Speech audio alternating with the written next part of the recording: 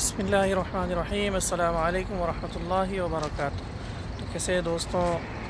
अल्लाह से उम्मीद है आप सारे खैर आफ़ियत से होंगे इन सबसे पहले दरुसलाम हमारे प्यारे आका मोहम्मद अरबी अलैहि वसल्लम पर अल्लाहुम्मा सल्लि अला मुहम्मद अबदिका व रसूलिका व सल्लि अलल मुमिनीन वल मुमिनात वल मुस्लिमीन वल मुस्लिमात तो आज हम आपको लेकर आए हैं एक बड़ी ही नायाब ज़्यारत की तरफ़। तो कि ये जो मस्जिद है, इस मस्जिद का नाम है मस्जिद दरा। दरा का माना होता है, दरा के माना होता है ज़रा के, जो जंग में, जो ज़रा पहनी जाती है, जिसको दरा कहते हैं। तो ये वो मकाम है जहाँ पर हमारे आका मोहम्मद अरबी सल्लल्लाहु अलैहि वसल्लम जो है जब जंग वहद के लिए यहाँ से जा रहे थे इस रास्ते से तो अल्लाह के नबी सलाम ने जो है यहाँ पर क़्याम किया था इस मस्जिद में। यहाँ पर जो है साहब कराम के साथ में यहाँ पर क़्याम किया था। तकरीबन एक हज़ार के करीब कुछ साहब कराम मदीना मनवरा से निकले थे और फ़िकीन का जो सरदार था तो उसने जो है वो अपने 300 साथियों को लेकर के यहाँ से वो वापस चला गया था। तो इस जगह पर अल्लाह के नबी ने क़्याम किया था। यहाँ पर जो है अल्लाह के नबी सलाम ने ज़रा पहनी थी और जंग की तैयारियाँ की थी। तो चूँकि उसका ये कहना था कि वो मुनाफिकीन का जो कहना था कि हम जो है जंग लड़ेंगे मदीने के अंदर रह करके लेकिन अल्लाह के नबी ने फरमाया साहब कराम ने भी कहा कि नहीं, हम जो है शहर से बाहर निकल कर के जंग लड़ेंगे।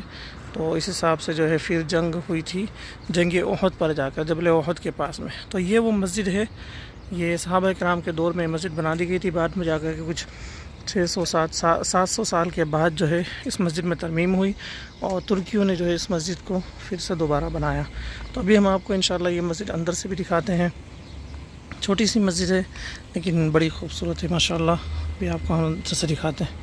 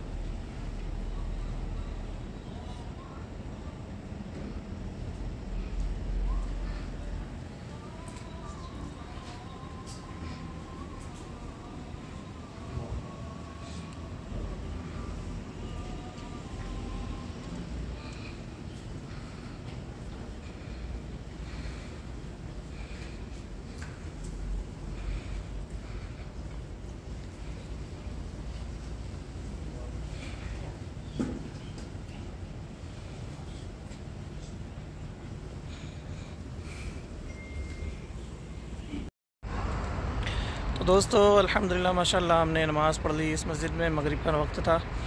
इसलिए और माशाल्लाह, बड़ा सुकून मिलता है इस मस्जिद में जो है नमाज़ पढ़ के। और बहुत से जज कराम को मैंने मस्जिद दिखाई है, लेकिन चूँकि बाहर से देखी उन लोगों को दिखाई थी। तो अल्हम्दुलिल्लाह का बहुत बड़ा एहसान है, अल्लाह का करम है कि वक्ता फ़वक्ता जो है इन जगहों पर नमाज़ पढ़ने का मौका मिलता है और कुछ वक्त बिताने का कुछ इसमें जो है अजगार का मौका मिलता है। उन जगहों पर, जिन जगहों पर अल्लाह के हबीब सलाम ने जो है नमाज़ पढ़ी। अल्लाह का एहसान है, अल्लाह का शुक्र है इस बात पर, इस नहमत पर। अलहमदिल्ला आज़ अल्हम्दुलिल्लाह तो मैं अल्लाह से दुआ करता हूँ कि अल्लाह ताला आप सभी को अल्लाह ताला इन मुक़दस मकाम की ज़्यारत नसीब फरमाए, बार बार यहाँ आना नसीब फरमाए और अल्लाह ताला हर उम्मत मुस्लिमा के हर फ़र्द को अल्लाह ताला बार बार इन मुक़दस मकाम पर आना नसीब फरमाए। ऐसी पाक जगह जहाँ पर मेरे अका सलाम के कदम पड़े हों और मेरा अकाली सलाम ने यहाँ पर रात गुजारी हो, अल्लाह के नबी ने यहाँ पर एक रात भी गुजारी है इस जगह पर और तीन चार नमाज़ें पढ़ी असर मगरब शाह और फजर की नमाज़ भी यहाँ पर अल्लाह के नबी ने पढ़ी है। तो ऐसी पाक मुक़दस जगह, जगहों पर मकाम पर अल्लाह ताली पूरी उम्मत मुस्लिम को आप सभी को अल्लाह ताली यहाँ पर आना नसीब फरमाए। अल्लाह ताली हम तमाम के तमाम जायज़ तमन्नाओं को पूरा फरमाए। अल्लाह ताला हम तमाम के गुनाहों को माफ़ फरमाए। इन पाकिज़ा मकाम की बरकत से अल्लाह ताला हमारे वालदेन की मफ़रत फरमाए जिनके वालदेन ज़िंदा हैं, उनकी, उन्हें अल्लाह ताला खिदमत की तोफ़ी अता फ़रमाए और जिनके वालदेन नहीं रहे, अल्लाह ताला उनकी ख़बरों को नूर से मुनवर फरमाए। अल्लाह ताला जन्नत में आला साला मकाम उन्हें अता फ़रमाए और इस दुआ के साथ आपसे विदा लेता है आपका भाई मोइनुद्दीन मदनी।